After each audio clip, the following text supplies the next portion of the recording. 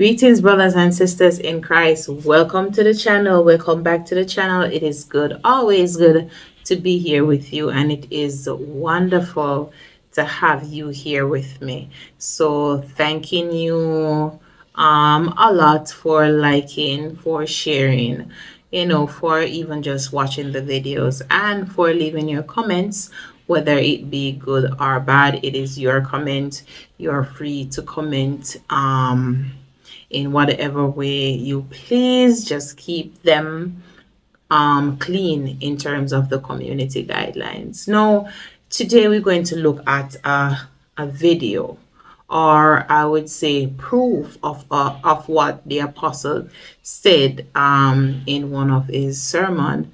And he was basically talking that I was basically saying that um, transgendered women are now saying that they can menstruate, they, they can see their period.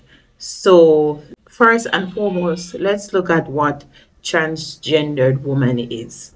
A transgendered woman is a woman who was assigned male at birth. Trans women have a female gender identity and may experience gender dysphoria. Now, gender dysphoria may be treated with gender affirming care. Gender affirming care may include social or medical transition. And that is basically what a transgender woman is. Now, does a transgender woman have a cervix? No. Transgender women do not have a cervix, so do not need cervical screening. What is meant? What is meant by transgendered woman? A transgendered woman lives as a woman today, but was thought to be male when she was born. And this is what's in the article. Um, a transgender man live as a man today, but was thought to be female when he was born.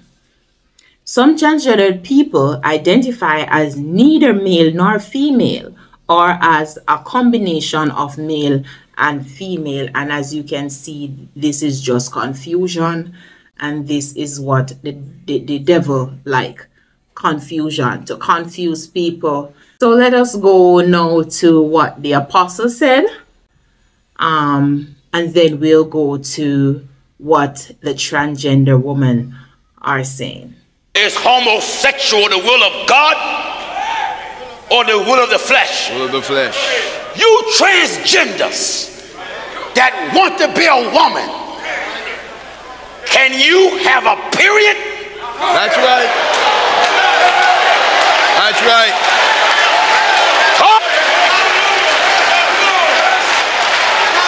You may not like what I'm saying. That's and right. I don't care if you don't. Switch all you want. All you want. Get the Botox as you please. That's right.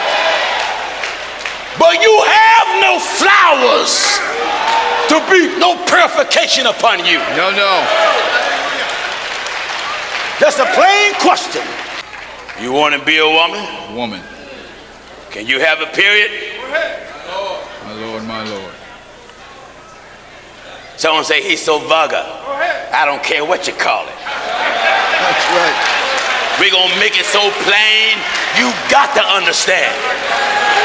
Can you get pregnant? Can you get pregnant? Can you carry a child? That's it. Can you breastfeed your child?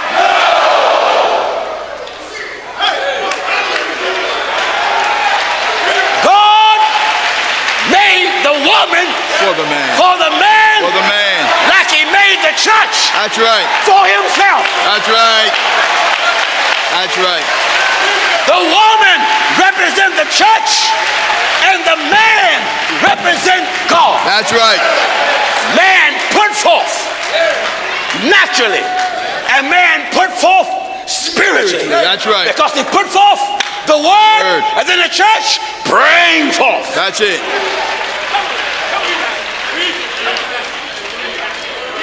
You pulpit bums. Bums. You scared, spineless, lukewarm, apostolic fakers That's right. who don't have enough Holy Ghost Yeah. in you to stand up. Stand up for that. That's right. A bunch of apostolic broke back mountain preachers. That's right. That's right. No, that is what the apostle says. This is what he said, and it is true. Man, whether you are transgendered or not, as long as you were as were born a man, you cannot see your period. You cannot see your menses. Oh, this is what the transgendered community is saying. Um, this interview take place on Dr. Phil, and this is what they say. Listen. transgender boys who might not have their own money to go buy tampons. If they're provided free in the bathroom, it's it's a huge plus. Men do not menstruate. Only women menstruate. Now you can call yourself Cis men whatever you don't want. menstruate, but trans men do menstruate. No, Same they as don't. non-binary people. Only women. Menstruating is not exclusive Yes, to it cis is. women. No, it's not. Yes, it is. So explain Your- to me as to why my body if you are, menstruated at if some your point then. chromosomes are XX and you're young, you menstruate. If you're XY, you don't. Correct, but what about trans men and non-binary? They're We're not men. excluding a whole group of They're, people they're women that dressed menstruate. as men. You are not a man. You can pretend to be a man, and that's okay. That's perfectly fine. Live your life. And tell me what a man is. Well, what's a man to you? You define a man for me. You have chromosomes that are X and Y. That's what a man is. So why are we just looking at the the the, the science of this as an The example science. when when we've learned sex and gender identity are two very they're completely different things. They're not completely different. they are things. completely different. Completely different words. And sex is what you're born with, the sexual reproductive organs you have. Gender is what you identify with. They're t- completely Well, I don't different accept that distinction. You have to argue for it. You're just giving a conclusion. You're you who hate the truth. People who hate the truth are because they see they see the truth as hateful. If if you want to identify in any way you can, you're free to do so. But that does not mean that the rest of us have to join that illusion. You disagree, I disagree with you, and so you call it hate. But there's no hate in my heart at all. So you- that's You wrong. are being hateful when you tell somebody that identifies Okay. as a man that they're not a man. That's not That is hateful. That's a fact. No, this is what they, they are saying. They are saying that it is possible for them to go to, to to go through menstruation. It is possible for them to see a period when in fact um science it in terms of science it does not show this as well. We're not even looking at the fact that they were born male. We're even I'm I'm looking at science and science proved that this is not so. You know, the same science that they're leaning to to say that they can change their their their their their um their gender that they were born with when in fact they cannot. It doesn't matter what they do, they cannot change it. Um, it is sad. It is actually sad to know that these people are so wrapped up and so you know entangled with with these spirits that these spirits are leading them in a way that it is so contrary to to to to God.